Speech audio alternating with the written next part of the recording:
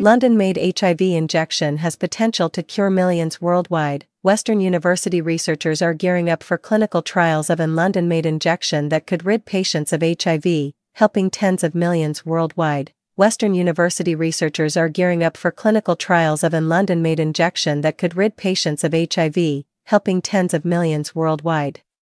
The shot, developed by researchers at Western University's Schulich School of Medicine and Dentistry in partnership with scientists in the United Kingdom and United States, could help patients on HIV treatment drugs get off them permanently by clearing out the residual virus lurking in their bodies. An intervention set for human trials later this year, it would drive out the last little bits of virus that stay hidden in the body, and in doing so, you hope, they can stop their treatment and live lifelong without HIV, said Eric Arts, professor of microbiology and immunology at Schulich. What we've designed is a very targeted approach. We're only hitting the cells that have the remnant HIV inside.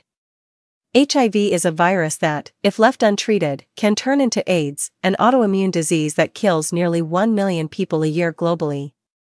Treatment options for HIV infected people have evolved considerably since the virus became recognized worldwide in the early 1980s, Arts said. From courses of 15 or more pills a day decades ago, to sometimes just one a day now. About 30 million people around the world are on long term treatment for the virus, he said.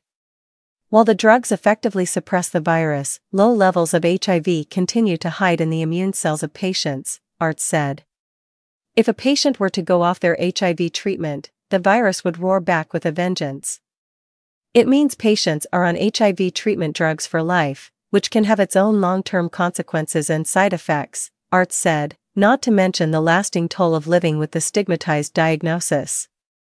The HIV-like particle developed by the Western-led research team stimulates an immune response, triggering it to attack the particle and any residual virus that's lurking around, Arts said. Other attempts by researchers and pharmaceutical companies to kill off residual HIV were very broad, involving various low-dose chemotherapies that hit all cells indiscriminately, Arts said. The new approach is highly targeted and is not expected to cause significant side effects for patients, he said. We're looking at potentially 3 to 4 injections, spaced out one a month. It's very similar to a vaccine approach, except with more boosters, said Arts, executive director of Western's Imaging Pathogens for Knowledge Translation, IMPA-KT, lab program. The first human trials will test whether the product is safe, Arts said. Other phases will test its effectiveness of freeing patients from the residual HIV in their bodies and getting them off long term drug treatments, he said. While the clinical trials will unfold in several centers and results are still years away, the injection will be made here in London, Arts said. A study on the effectiveness of the HIV like particle is being published this week in the journal Emerging Microbes and Infections. The study tested the HIV-like particle intervention on blood samples from people on long-term HIV treatment drugs in Uganda, Canada, and Cleveland, Ohio. We looked to see if in essence, we could cure their immune cells of HIV and if we could use it in a clinical setting to do the same thing, Arts said. It was very, very successful in doing so. So, we're moving forward now. The lead author on the study, Western Master's degree student Ryan Ho, said he is grateful to be part of such a deeply meaningful research project with the potential to turn the page on HIV/AIDS. In the coming months, the team hopes to publish additional papers on the HIV-like particle that build off the latest study, Ho said. Not content to sit in the lab, Ho began volunteering at the regional HIV-AIDS connection in London during the pandemic, assembling harm reduction kits.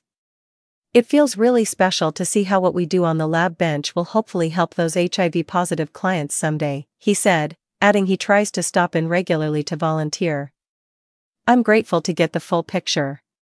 When we do science, it's important to remember who we do it for. The latest paper is a collaboration with the University of Bristol in the United Kingdom, Case Western Reserve in Cleveland, and Johns Hopkins and National Institutes of Health in Maryland.